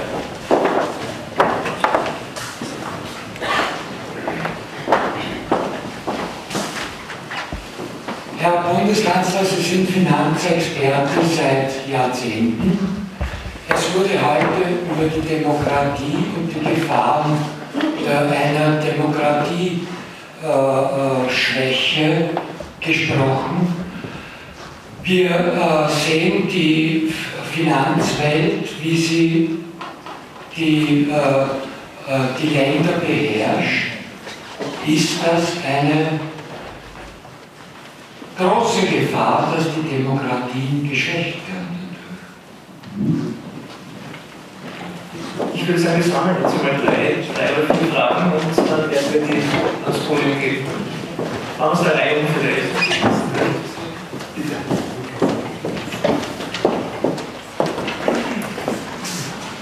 Ja, ich bin der Genoss Weberlich und ich begleite äh, äh, uns der Dr. Fanitzky schon seit 32 Jahren. Ja, er hat in Preiskirchen, wie er damals beim Freien Wirtschaftsverband, der Landesausschuss, da hat Dr. Franz Schanitzky damals einen Wirtschaftsvortrag vor, äh, äh, uns äh, vorgetragen, wo wir sehr lange darüber nachgedacht haben, hier und wieder. Aber wir, vor drei, vier waren das, wir haben diese Idee durchgesetzt und dann weitergebracht. Aber nur eines, was ich jetzt äh, nicht versäumen möchte, ist das, dass Dr. Franz Wernitzky äh, Arbeitsplätze geschaffen hat, zum Beispiel in Ternitz die, ist die Industrie aufgelöst worden, die Kaplan-Turbine, die Rohrerzeugung, die hochqualifizierte Technologie und so weiter ist total aufgelöst worden und Dr. Franz Wanitzke hat das über sein Büro raus wieder aufgebaut. Und dann in Kärnten im Bezirk Verkirchen, das ist ein ländlicher Bezirk, dort hat er drei Betriebe, Arbeitsplätze finanziert, aber die wir heute noch alle leben davon, das möchte ich sagen, das ist zukunftsdenkende Politik und das fehlt uns heute allen. Danke. Ich hoffe, dass es auch erlaubt ist, eine Bitte zu äußern und nicht nur eine Frage zu stellen. Bitte. Äh, dann bitte ich den Vorschlag von Herrn Professor Gresche aufzugreifen. Die Bitte richtet sich an das Podium und auch an die Veranstalter treffen einander im Jahr. Gut, wir werden es vermerken. Ich hätte auch eine Frage an den Bundeskanzler, äh, und zwar, weil wir das ja 91 angesprochen haben, noch ein bisschen weiter zurück, 1986.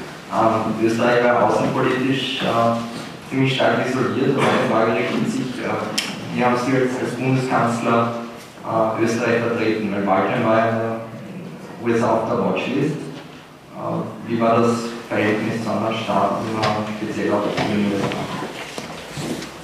Gut, dann nehmen wir jetzt nochmal eine vierte mit und dann schreiben wir eine Antwort. Ja, Verzeihung, keine Frage, aber man muss auch loben.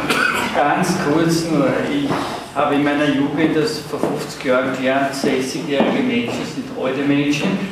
Heute habe ich die Alter der Anwesenden gehört.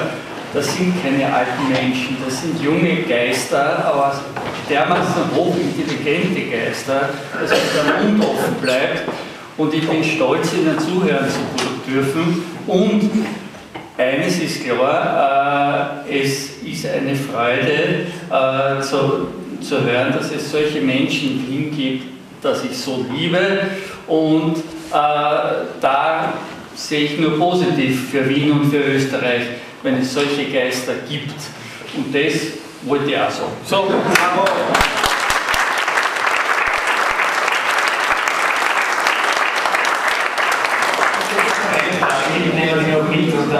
Ich habe eine Frage an Herrn Bundeskanzler und Sie haben gesagt, äh, dass die Öffnung des Bankensektors in den 80er Jahren einer Ihrer wichtigsten äh, Karrierehöhepunkte war. Und da würde mich interessieren, ähm, wie Sie dazu stehen, dass die österreichische Bundesregierung jetzt die Hypo Alpe Adria und die Kommunalkredit und andere Banken unterstützt hat in den letzten Jahren.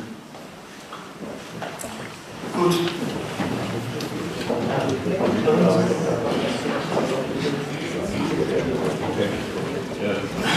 Gut, dann werden wir den ersten Teil der Frage mal beantworten. Wenn es dann noch zwei, drei gibt, nehmen wir den in der zweiten mit. Gebe es zurück ans Podium, das meiste von Herrn Dr. Kaminski, bitte. Ja, danke schön. Ähm, die internationalen Finanzmärkte, alles, äh, all das, was sich auf diesen abspielt, ist eine große Gefahr. Eine große Gefahr für die Demokratie, aber insofern für die Demokratie als auch eine große Gefahr äh, für die äh, für die, für die Krisenbewältigung in den verschiedenen nationalen Volkswirtschaften äh, ist äh, und auch eine große Gefahr, weil sie aufgrund ihrer Möglichkeiten, also die heutige digitale Situation, die weltumspannende Vernetzung der Finanzmärkte, deshalb eine große Gefahr ist, weil sie sich im Großen und Ganzen staatlicher Regulierung entzieht. Äh, und jetzt äh, ist ja eine sehr naheliegende Antwort, äh, okay, wenn das so ist, dann, liebe Staaten, verstärkt doch die Regulierungsanstrengungen. Und hier stottert der Motor gewaltig. Warum? Weil die einzelnen Staaten, insbesondere die mit großen Finanzmärkten, ganz unterschiedliche Interessen haben. Ich greife nur ein, ein Beispiel heraus. Äh, Großbritannien hat über die Jahre und Jahrzehnte fast sein gesamtes industrielles Potenzial eingebüßt. Also wenn wir uns erinnern, äh, die, die Briten waren immer ganz großartig im Automobilbau, im äh, Maschinenbau, Lokomotivbau und so weiter. Das ist alles weg. Als ich begann, äh, berufstätig zu sein, habe ich ab und zu nach London fahren können und da gab es nur englische Autos. Äh, heute, wenn Sie durch London gehen, gibt es keine englischen Autos mehr. Und wenn ein englisches Auto, dann fährt es kein Engländer mehr. Also was ich, der Jaguar gehört an Japaner, der Ford gehört den Amerikanern oder Deutschen, je Und so kann man das fortsetzen. Erstens. Zweitens äh, haben die Briten äh, in einer wirklich äh, fulminanten Art und Weise es verabsäumt, ihre Infrastruktur äh, intakt zu halten. Also die Eisenbahn und selbst die U-Bahn in, in London hat einige moderne Strecken, aber der Großteil ist veraltet. Äh, das Elektrizität und so weiter und so weiter. So, äh, weil das so ist, muss sich ja jetzt der britische Premierminister überlegen, wie kriege ich eigentlich Wirtschaftswachstum zustande. Und dieses Wirtschaftswachstum bekommen Sie, äh, indem Sie den Finanzplatz London, den wichtigsten der Welt, möglichst expansiv gestalten, ungestört lassen äh, und alles unternehmen, dass dieser Finanzplatz London, der Ihnen die großen Wachstumsraten, ist ohnehin gesamtwirtschaftlich dort bescheiden, äh, sichert, dass dem nichts passiert. Daher sind die Briten, gehören neben den Amerikanern und anderen zu den großen Vorkämpfern äh, gegen äh, eine international abgestimmte Regulierung der Finanzmärkte. In, selbst in Staaten, in denen das nicht so gesehen wird, werden immer wieder neue Finanzinstrumente entwickelt, die an ohnehin nur bescheidenen Regulierungen ohne weiteres vorbeigehen oder unten durchschlüpfen. Also alle äh, Derivate und äh, nicht zu so technisch zu werden, äh, Hedgefonds und so weiter. Also die Antwort ist ja, es ist eine große Gefahr. Ich sage nur zum Abschluss ein einziges äh, Beispiel. Nehmen wir eine österreichische Firma, Andritz. Andritz, unter anderem baut Andritz Papiermaschinen. Eine Papiermaschine ist eine sehr komplizierte äh, Angelegenheit, riesengroß, technisch sehr komplex äh, und äh, bedarf wirklich großen technischen Wissens. Nehmen wir auch an, Andritz gewinnt die Ausschreibung für eine Papiermaschine in, in Singapur, irgendwas zu sagen. Dann ist der Vorlauf, einmal die Angebotslegung, die technische Aufbereitung und so weiter, das dauert viele Monate. Dann kriegen Sie den Auftrag, dann müssen Sie beginnen, diese Maschine in Andritz zu bauen. Äh, das dauert wieder mehrere Monate. Wir sind schon bei eineinhalb Jahren ungefähr. So, dann ist die endlich fertig. Was wird dann geschehen? Dann müssen Sie es wieder zerlegen, dass Sie die riesige Papiermaschine nicht transportieren können. Müssen Sie zerlegen, äh, äh, auf ein Schiff bringen, also von Andritz gibt es noch kein Schiff, mit dem LKW, mit der Eisenbahn, nach Koper, von Koper nach Singapur. Das dauert wahrscheinlich zwei Monate. In Singapur müssen sie es wieder zusammenbauen. Bis diese Papiermaschine in Betrieb geht und der erste Bogen Nassgräbpapier oder irgendwas, Zeitungspapier daraus wird, dauert es gut, gut und gern zwei Jahre. Sagen wir, die Papiermaschine kostet, Max, was kostet eine Papiermaschine? 50 Millionen Euro, sagen wir. Ja? Ähm, so, vielleicht mehr. Und jetzt sitzt der, der Buchhalter oder der Finanzchef bei Andres dort äh, und fängt an, zu also nicht nur zu kalkulieren, das hat er schon vorher gemacht. Jetzt geht es weiter. Wann zahlen die? Welche Zahlungsziele wurden vereinbart? Äh, in wie viel Raten? Wie die Zinsen? Äh, und wie finanzieren wir das? Weil wir brauchen ja Geld wie andere. Wir müssen eine Bank oder mehrere Banken einschalten, damit man in der Zwischenzeit das Gerstl überhaupt noch, noch in die Steuerbank kriegt. Das dauert wieder ein halbes Jahr. Jetzt sind wir mit 50 Millionen schon zweieinhalb Jahre unterwegs. Forget it. Der Finanzmanager irgendeiner Bank, irgendwo in der Welt, braucht für den Transfer von 50 Millionen Euro von Graz nach Singapur 10 Minuten. Ja? Wenn das braucht überhaupt, wenn es so lang dauert. Das heißt, wir haben die Diskrepanz zwischen Realwirtschaft und Finanzwirtschaft, dass, dass ein Brocken Geld auf der einen Seite zwei bis zweieinhalb Jahre dauert, bis das überhaupt irgendeinen Sinn macht, denn finanziell. Und der andere sitzt, und in Singapur sitzt sein Kollege, drückt am Knopf und überweist es nach Tokio. Und der Tokio-Mensch nach London und jeder verdient, was weiß ich, einen halben Prozent, einen ganzen Prozent dabei und daher machen die das so gern, was, verdienen dabei. Also ein, ein, unfassbarer, ein unfassbarer Kreislauf, natürlich ermöglicht, äh, durch, ich gesagt, durch unsere digitale Welt, also durch den Computer. Äh, früher haben sie das auch gemacht, aber da haben sie mit der Kugelrechenmaschine gerechnet und haben telefoniert und haben telegrafiert oder was weiß ich, ein Telegramm geschickt. Also, entschuldige, ein bisschen lange Erklärung, ja, ist, ist heikel, ist gefährlich, wirklich gefährlich. Weil, weil, weil sich das vor unseren Augen oder hinter unseren Köpfen abspielt, ohne dass wir viel dagegen tun können. Ähm, Arbeitsplätze geschaffen. Ja, die Politik, die Regierung kann helfen, Arbeitsplätze zu schaffen. Äh, ich muss allerdings sagen, äh, diese Beispiele, so sehr viel mich freuen, äh, die sind halt vor 20 Jahren gewesen äh, und die Welt hat sich sehr rasch geändert und ich habe Respekt vor jedem Bundeskanzler, vor jedem nicht, aber vor den meisten. das geht heute auch nicht, ginge heute auch nicht mehr so. Aber oft genügt ja schon ein gewisses Interesse und das, das Aufbauen von Rahmenbedingungen für das Wirtschaften, für das industrielle Wirtschaften, äh, für die, für die, für die öffentlichen Wirtschaften und so weiter. 1986. Ähm, 1986 war eines der kompliziertesten Jahre für die österreichische Innenpolitik im Allgemeinen und für die sozialdemokratische im Besonderen. 1986 sind einige Ereignisse ins Land gegangen, äh, die ich kurz aufzähle. Äh, der damalige Bundeskanzler Dr. Sinowatz war auch noch als Nachwirkung zu dem nicht gebauten Kraftwerk in Heimburg äh, unter politischem Druck. Wieso unter politischem Druck? Weil die Gewerkschaften haben erwartet, dass dieses Kraftwerk gebaut wird, Arbeitsplatzsicherung, Energiesicherung etc.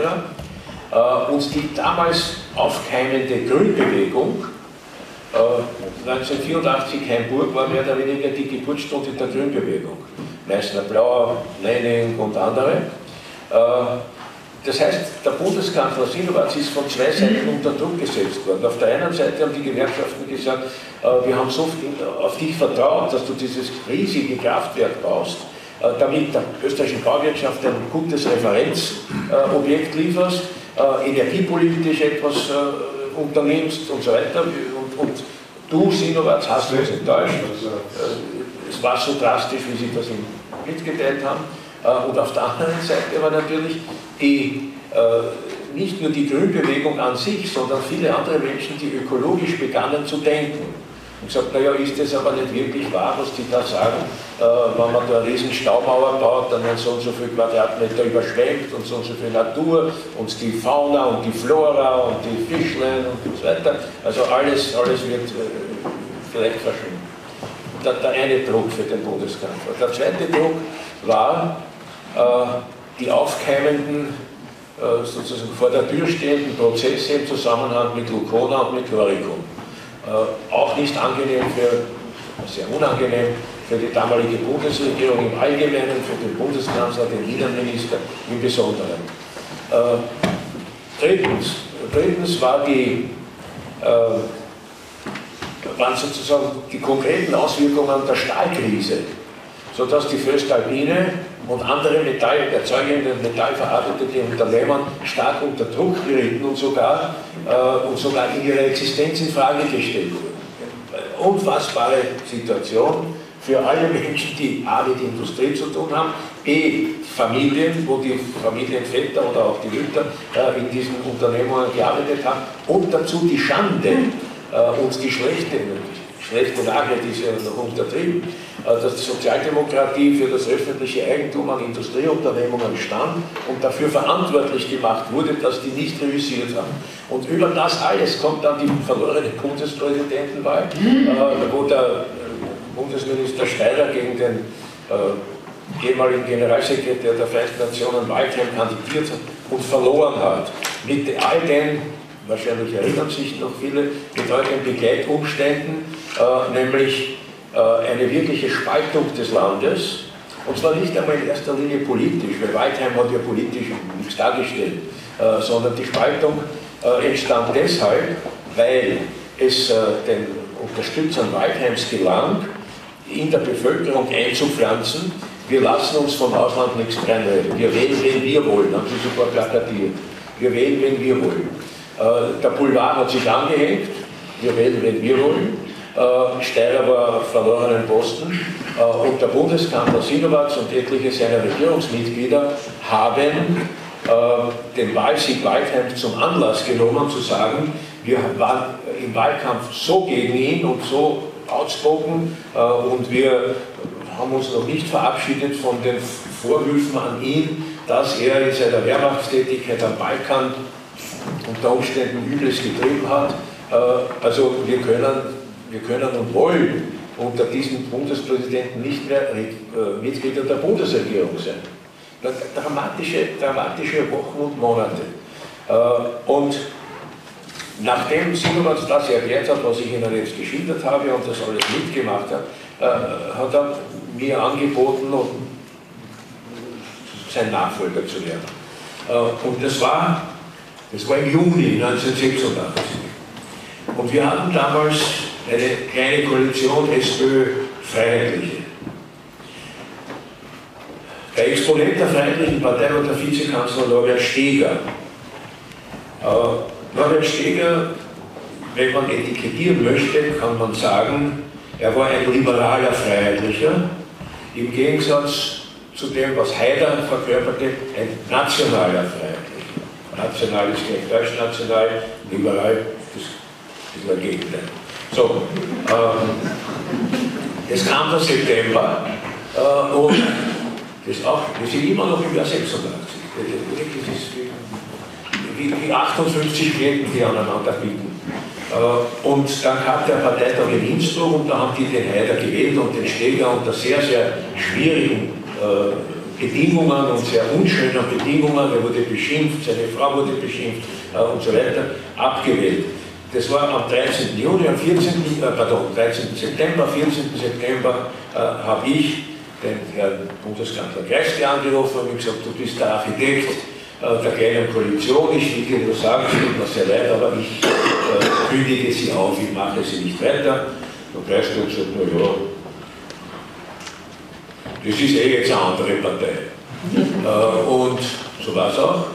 Äh, und so, dann hatten wir eine Wahl, die haben wir knapp gewonnen äh, und dann ging es los, Bundeskanzlerei und, äh, und Waldheim.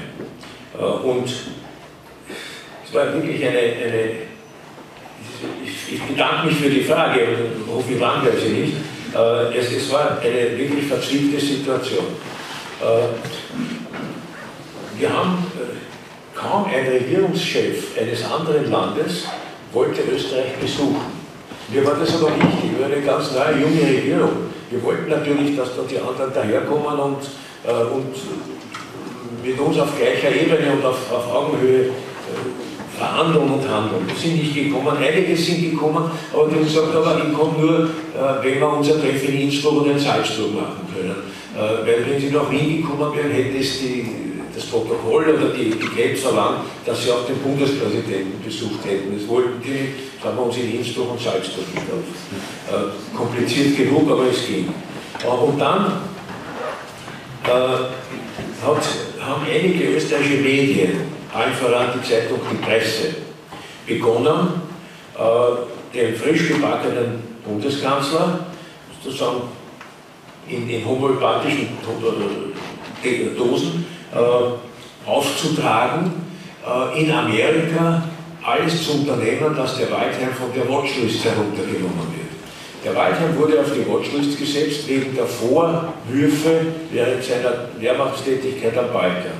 So, äh, also ich habe sowieso einen Amerika-Besuch geplant gehabt äh, und bin natürlich auch hingereist und, und, damals war der Präsident Reagan im Amt. Äh, und ich habe dem Präsidenten Reagan halt gesagt, erstens, warum habt ihr das gemacht? Ihr seid die Weltmacht Nummer eins, wir sind ein kleiner Fisch in Mitteleuropa. Äh, was hat das für einen Sinn, dass ihr euch da drauf setzt? Zweitens, ihr seid Signatarmacht unseres Staatsvertrags äh, und müsst ihr auch ein bisschen daran denken, dass ihr diesem Staatstag nicht einen Tort antun könnt. Und drittens,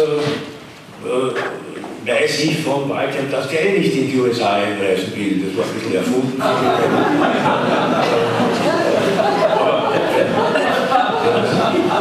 war egal. Äh, und der Rebbe, der Rebbe hat gesagt, äh, ich habe überhaupt nichts gegen Sie, also mich und nicht gegen das österreichische Volk und nicht gegen die österreichische Republik, sondern wir haben nur was gegen den Waldheim. Und ich habe dann gesagt, das erklären Sie mal bei uns am Brunnenmarkt den Leuten, äh, was der Unterschied ist.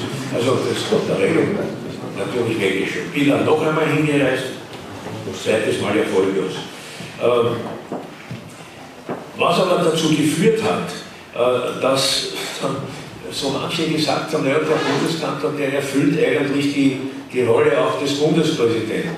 Äh, hat nicht geschadet, äh, aber ich war auch nicht so begeistert davon, weil viele Agenten und Funktionen, die der Bundespräsident hat, oder zu den Agenten, die der Bundespräsident hat, gehört schon manches, was den Bundeskanzler eigentlich rein protokollarisch und so weiter nicht besonders interessiert oder nicht besonders neu. Aber es ging halt so weiter und weiter.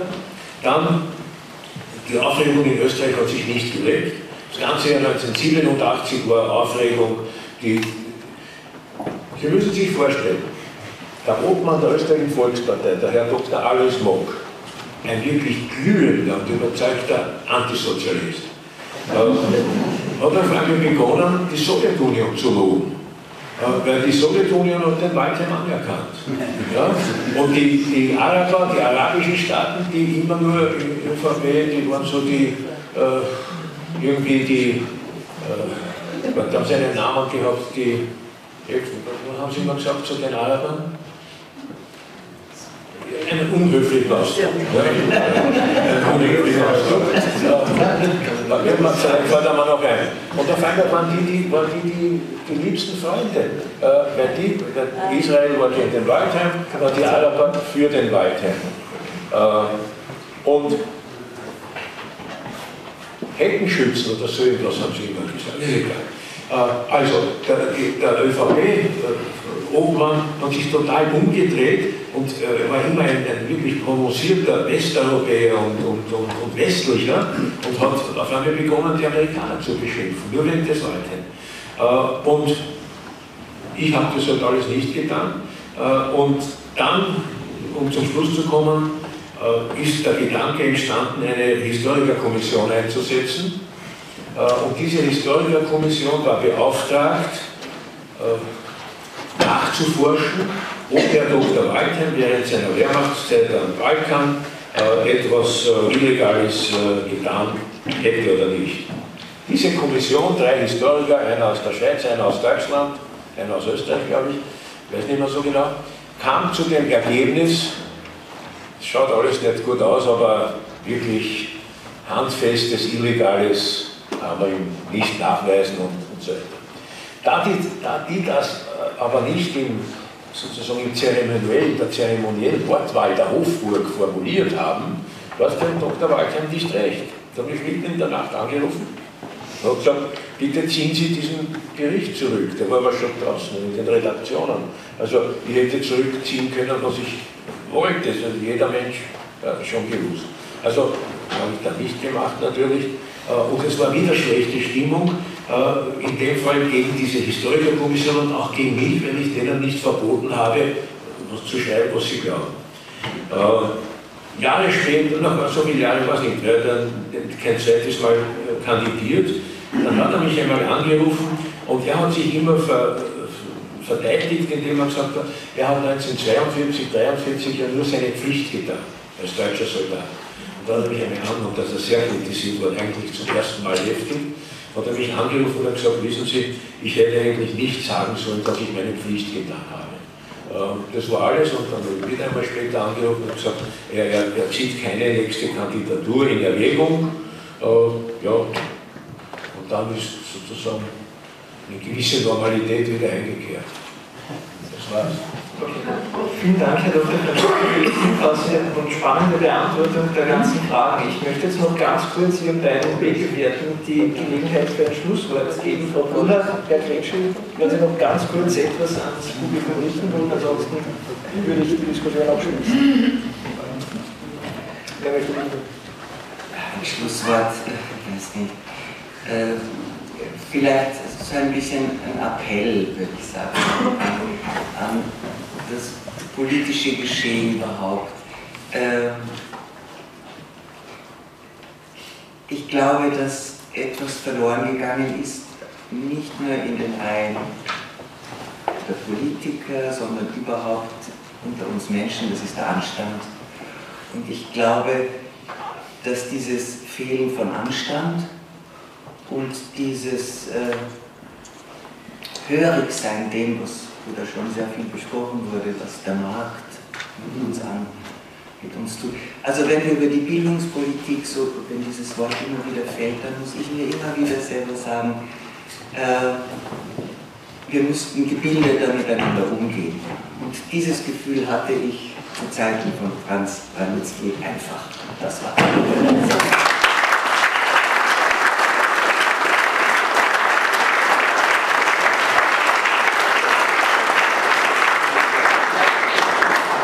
Könnte noch manche amüsante Bemerkungen äh, zur Causa Waldheim machen. Herr Bundeskanzler, ich erinnere mich, äh, wir waren zusammen am 13. September, das war übrigens mein Geburtstag beim Kafka im, am Abend in der Nacht um, um, um halb zehn, glaube ich, ist, der, ist, die Nachricht gekommen, dass der Heider und äh, da habe ich gesagt, das werden Sie machen. Und, und das hat mir imponiert. Sie haben spontan gesagt, das ist keine Koalition kaputt, aber wir, wir lassen uns den Abend hier nicht verderben.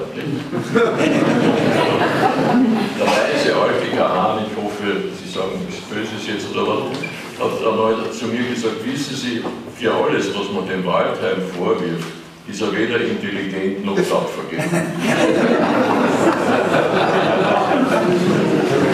Aber nur einen Wunsch, Bundeskanzler, und der kommt aus einem ehrlichen Herzen, dass Sie Ihre Gesundheit pflegen und dass Sie uns erhalten bleiben als eine Stimme der Vernunft und der Mahnung, wenn wir wieder einmal vom richtigen Weg abweichen. Sie sind nicht alt, so 75 ist überhaupt kein Alter. Sie haben noch viel vor sich und ich bitte, machen Sie von der Möglichkeit des Elder Statesman reichlich Gebrauch.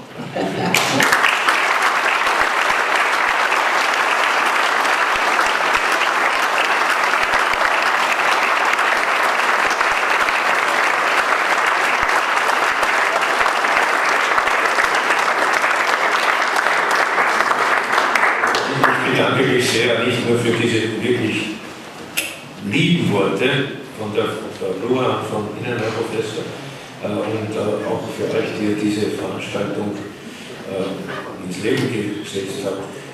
Auch wenn ich erst 75 bin, habe ich auch schon Folgendes erlebt. Wenn man lang lebt, lernt man alles kennen. Das Gegenteil. Und auch das Gegenteil.